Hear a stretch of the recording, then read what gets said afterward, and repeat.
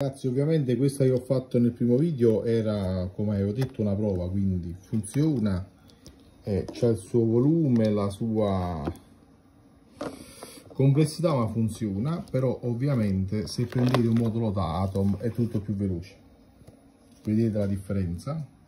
Con il modulo Atom si prende una plunca LAN si eh, mettono i puntalini e i quattro fili ed è fatto ed è finito. Questo è uguale a questo eh? non c'è nessuna differenza. Anzi questo qui è un Espo 266 questo è un Espo 32 quindi è anche più potente. Ovviamente con l'Atom come è stato fatto anche per il Sepos il tutto è molto più pulito. È funzionale, è funzionale questa opzione dove bisogna avere ben tre moduli ma va benissimo ed è molto più pulito farlo anche con un modulo Atom come questo quindi ragazzi se volete una cosa più pulita magari questa qui costa 2-3 euro questa costa una decina di euro 15 euro.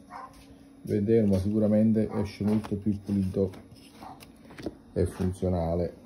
Si prende si collega all'inverter e tutto funziona. Come vedete molto più pulito molto più funzionale. E adesso avete il vostro inverter su SP Home in home assistant con i comandi in MQTT o in API a vostra scelta. Un saluto da Savio.